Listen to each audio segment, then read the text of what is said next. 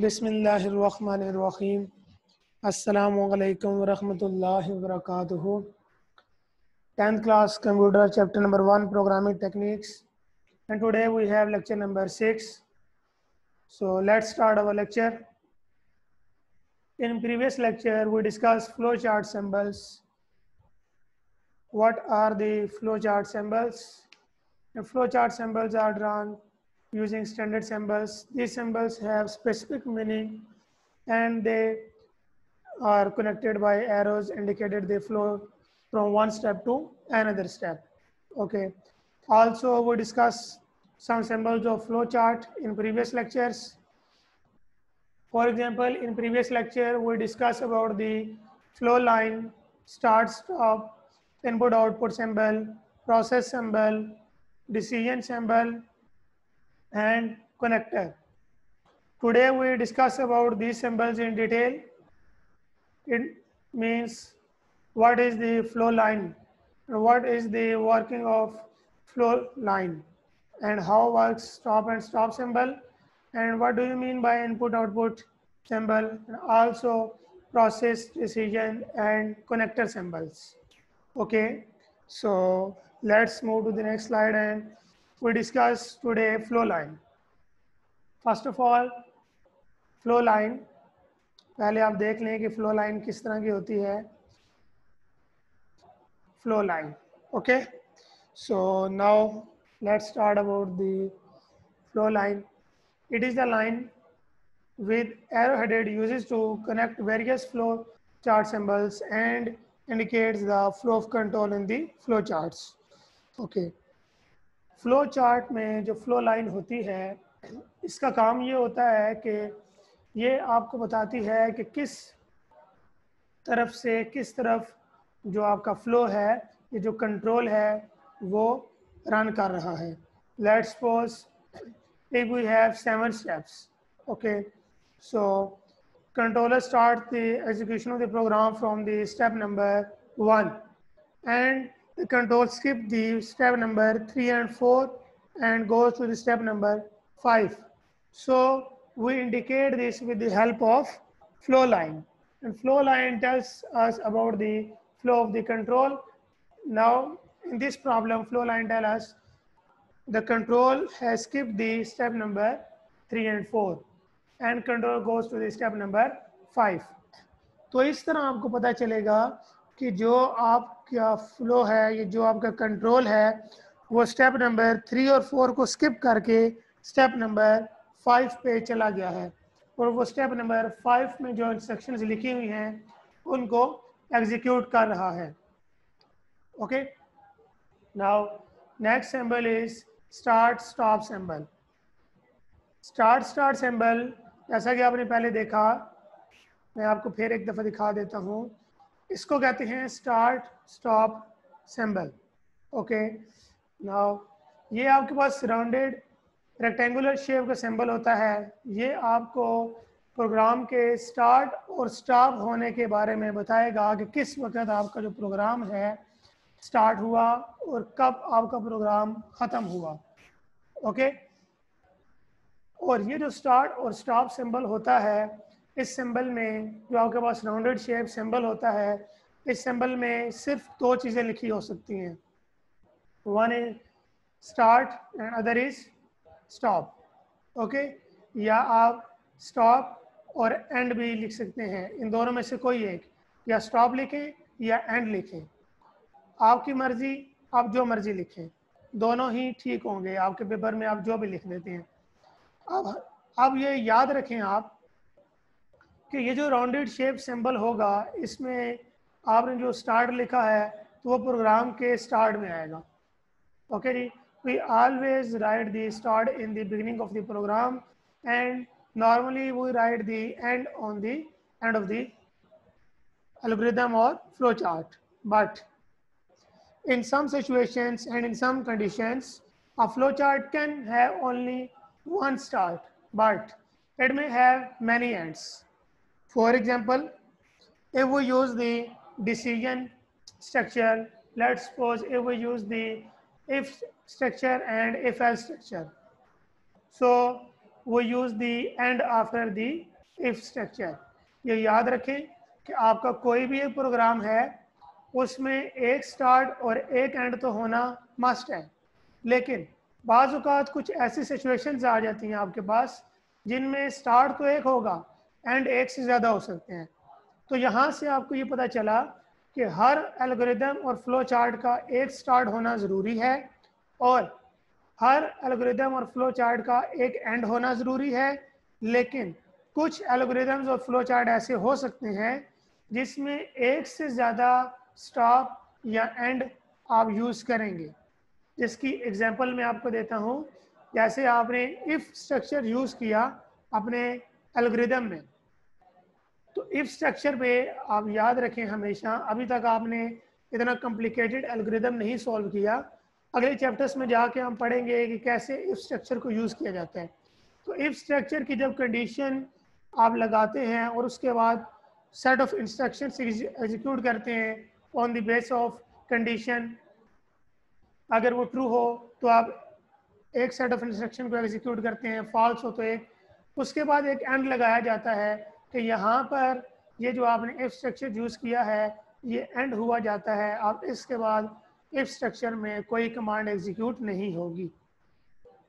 I hope आपको समझ आ गया होगा स्टार्ट और stop symbol next is input output symbol input output symbol represented by parallelogram ये देखें आप।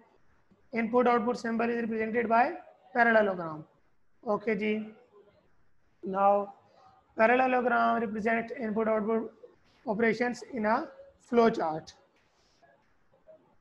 जब भी आपके पास प्रोग्राम में इनपुट आउटपुट सिंबल आएगा मींस पैरेललोग्राम आएगा पैरेललोग्राम में हमेशा जो भी है वो आपके पास या तो इनपुट लिया जाएगा या आउटपुट दिया जाएगा इनपुट कैसे लिया जाता है इनपुट के लिए आपके पास पैरेललोग्राम में रीड लिखा हुआ होगा या इनपुट लिखा हुआ होगा।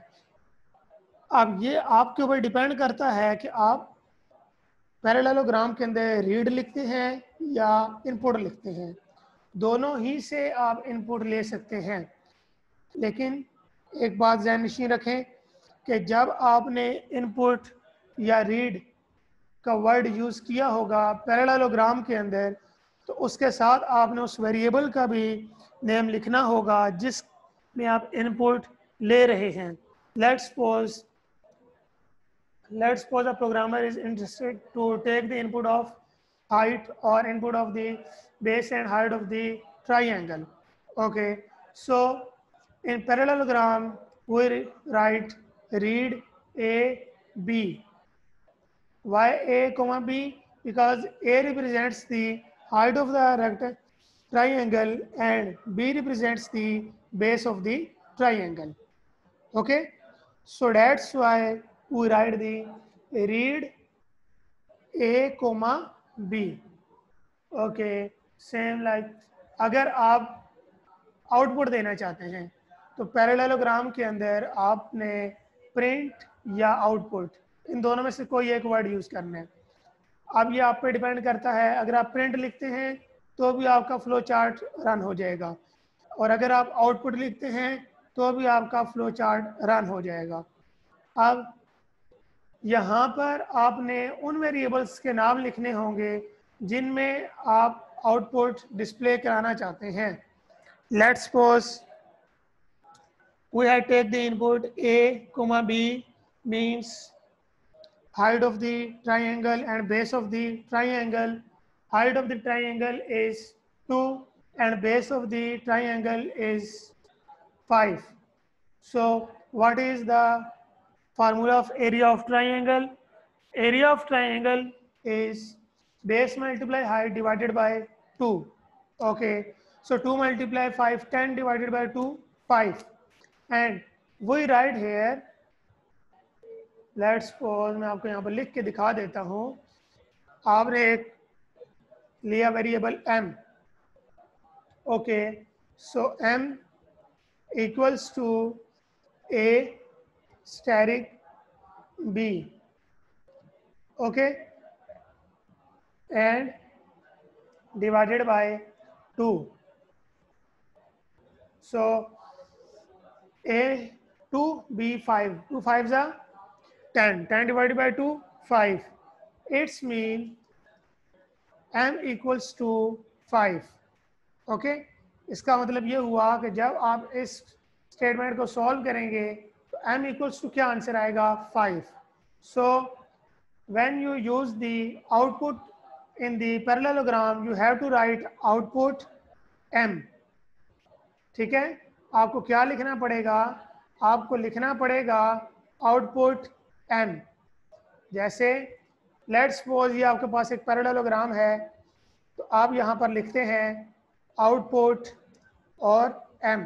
इट्स मीन कि ये m के अंदर जो वैल्यू स्टोर होगी फाइव वो आउटपुट में डिस्प्ले कराएगा।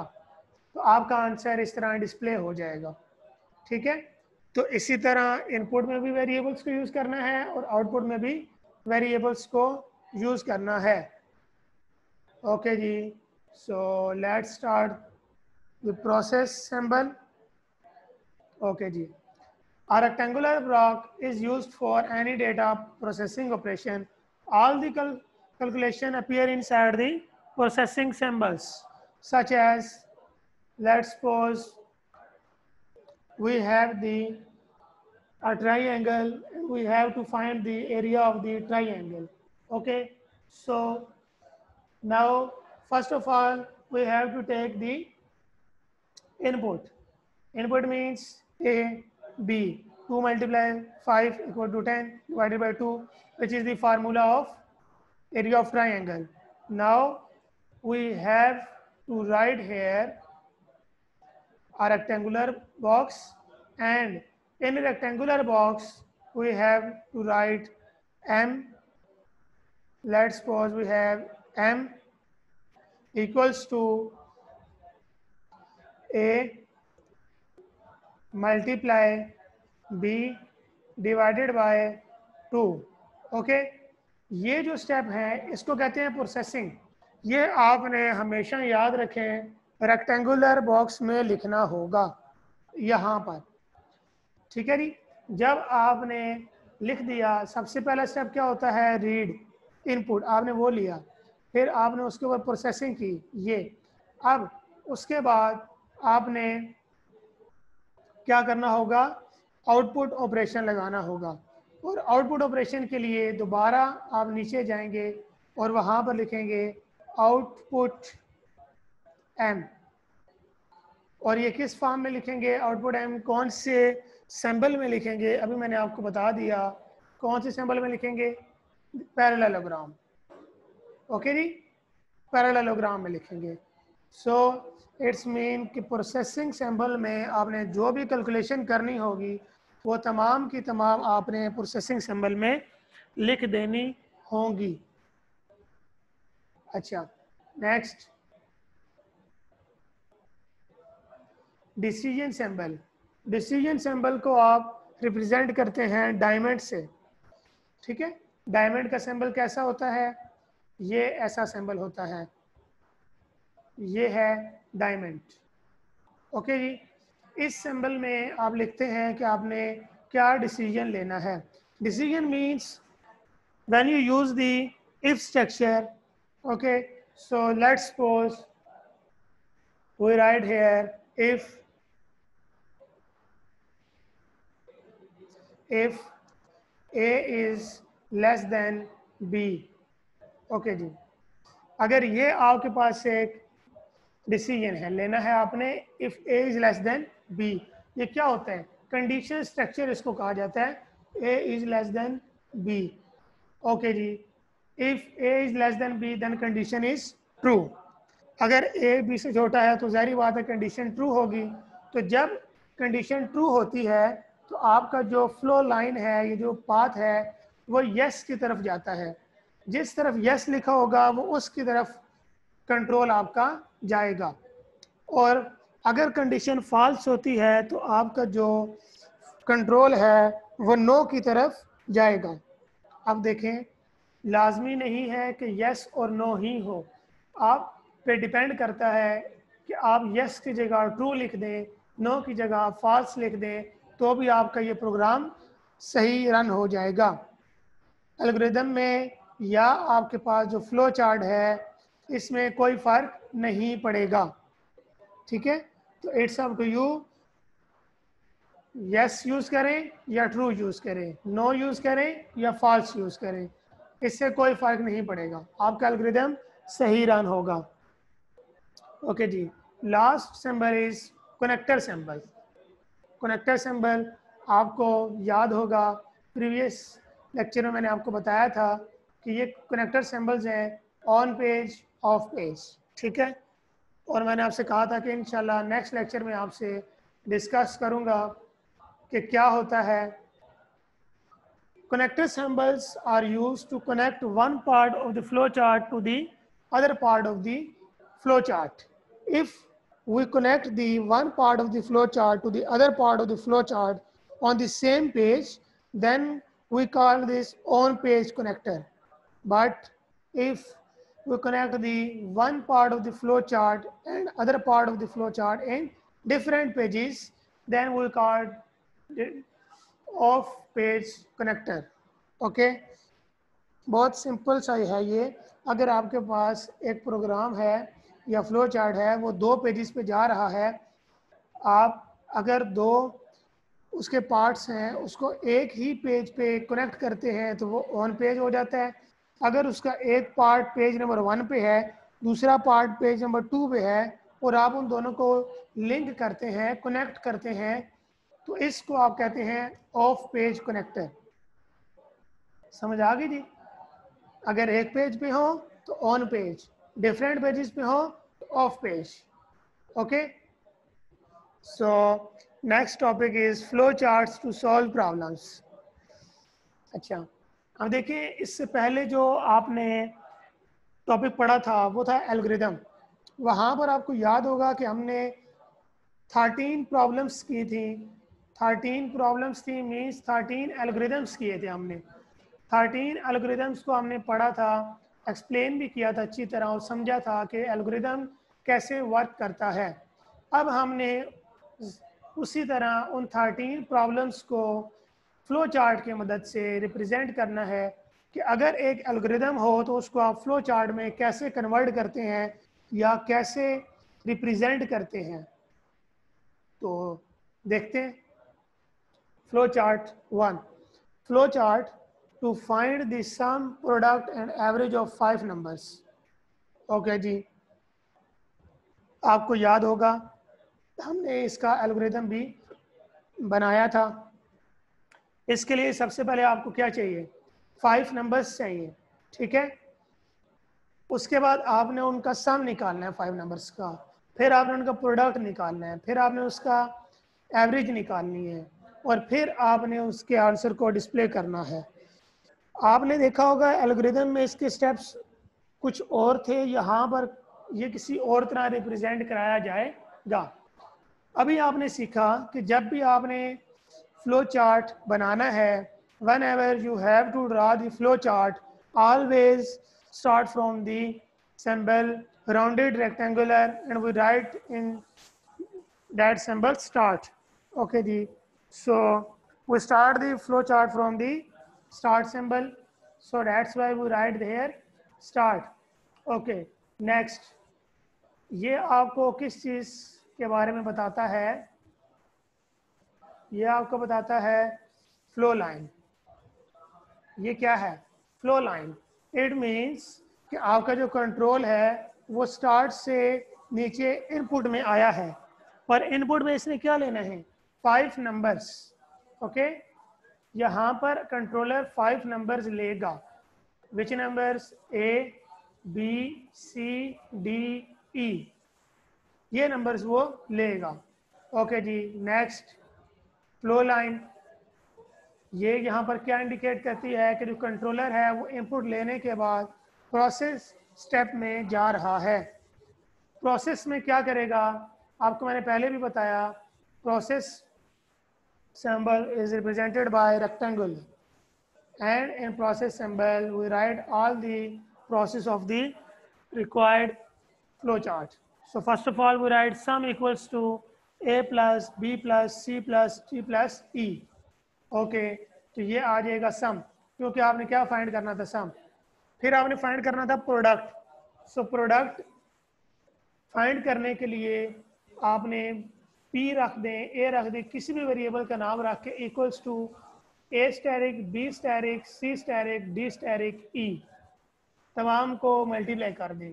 Next is average and for finding average equals to sum divided by 5. Okay, you know that the formula of average. Formula of average is sum of all the subjects divided by number of subjects. Okay, so it's mean sum of five subjects divided by five, so we get the average. Okay, G. Next, again, flow line represents the flow of the flow chart. So in next step, output. Output को हम parallelogram से represent करते हैं। जैसे आपने input लिखा, वैसे ही output लिखें और इनपुट में जो आपने इनपुट वेरिएबल्स लिए थे, आपने वो लिखे A B C D E output में आपने वो वेरिएबल्स लिखने हैं जिनमें आपने आंसर स्टोर कराया है। आंसर आपने किसमें होगा? एक तो सम में होगा, इसका पूरा सम प्रोडक्ट में होगा और एवरेज में होगा। Sum comma product comma average इन तीनों को वो आउटपुट की सूरत में डिस्प्ले कराएगा। तो आपके आंसर डिस्प्ले हो जाएँगे और साथ ही फ्लो चार्ट एंड हो जाएगा। Next flow chart two okay ji. Flow chart to find the largest of three unequal numbers so first of all we have to start the chart with the off start stop symbol so first of all we use the start symbol okay next we use the input output symbol and we take the input so how many numbers? Three numbers and unequal numbers. So we take the input of three numbers. Input A, B, C. So in next step, we use the decision. And decision is represented by rectangular shape. किससे represent होता है rectangular से ये देखें ये shape बनी हुई है आपके पास अच्छा जी अब नेक्स्ट देखें डिसीज़न में आपने क्या लेना होता है? आपको याद होगा, जब आपने इसका अलग्रिदम किया था तो आपने लिखा था if A is greater than B and A is greater than C then largest A आपको शायद याद होगा, फिर आपने कहा था otherwise go to step number आपने स्टेप नंबर आगे लिखा। फिर next if B is greater than A and B is greater than C then largest B otherwise go to step number तो ये आपने सारा किया था काम। लेकिन फ्लो चार्ट में कैसे होगा? आपने डिसीज़न लिया A's greater than A and A's greater than C if condition is true means yes अगर कंडीशन सही हुई तो उसने इसको फॉलो करना है। आउटपुट में ए कर देगा। आउटपुट में वो ए लिख देगा। मींस ए की जो भी वैल्यू होगी, वो डिस्प्ले करा देगा। अगर ये कंडीशन फॉल्स हुई तो मैंने आपको क्या कहा था? वो फिर जहाँ पर नो लिखा होगा, उस पाथ को फॉलो करते हुए नेक्स्ट सिंबल की तरफ़ जाएगा। तो यहाँ पर अगर कंडीशन फॉल्स हुई नो करते हुए वो नीचे नेक्स्ट कंडीशन देखेगा। B is greater than A and B is greater than C then if condition is true then output B if condition is false then move to the next symbol and output C अब यहाँ पर third condition लगाने की ज़रूरत नहीं है। क्योंकि जब आपको पता है ए भी बड़ा नहीं है बी भी बड़ा नहीं है तो अंडरस्टूड है कि सी बड़ा होगा। अगर ए भी दोनों बड़े नहीं हैं तो जहरी बात है फिर सी बड़ा होगा। तो इसलिए हमने तीसरी कंडीशन नहीं लगाई। अब इस ऑपरेटर के बारे में मैंने आपको क्या बताया था? कनेक्टर सैंपल ठीक है जी? On page connector off page connector ये ऑन पेज कनेक्टर होगा क्योंकि ये एक ही पेज पे यूज़ किया जा रहा है सेम पेज पे यूज़ किया जा रहा है। ये सिंबल क्यों यूज़ हुआ? क्योंकि अगर वो यहाँ से कंडीशन ट्रू हो जाती तो वह यहाँ से कनेक्ट करके इसको आउटपुट में दिखा के स्टॉप कर देता। अगर वो कंडीशन यहाँ से ट्रू हो जाती, क्योंकि जहरी बात है, फिर ये तो फॉल्स हो जाती। वो कंट्रोल यहाँ पे आता, यहाँ से वो बी को आउटपुट डिस्प्ले करा के स्टॉप हो जाता। अदरवाइज़ अगर ये दोनों कंडीशन फॉल्स हो जाए नो को फॉलो करते हुए वो यहाँ पर आएगा और सी को डिस्प्ले करा के स्टॉप कर देगा। Flow chart to find the moving object given mass and the force applied so first of all वो start diagram with the help of the start symbol then input force and mass okay ji now process symbol in process symbol acceleration is equals to force divided by mass. So we write the force, acceleration equals to force divided by mass. Okay, G. Now, when you write the force divided by mass, next is flow line. Okay, जी अगला step क्या होगा output तो output में आपने क्या display कराना होता है आउटपुट में आपने डिस्प्ले कराना होता है एक्सलरेशन ठीक है? तो एक्सलरेशन जो है, आपने डिस्प्ले करानी है तो सिंपली आप लिखेंगे आउटपुट एक्सलरेशन सो एक्सलरेशन में जो भी आंसर होगा let's suppose force is 8 mass is 2 so acceleration is 4 so 4 आपका आंसर डिस्प्ले होगा और साथ ही ये आपका स्टॉप हो जाएगा. फ्लो चार्ट नंबर फोर ठीक है जी?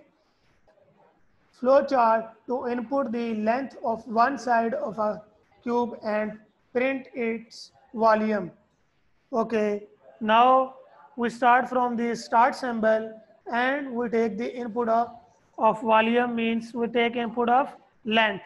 So we write input L. L means length.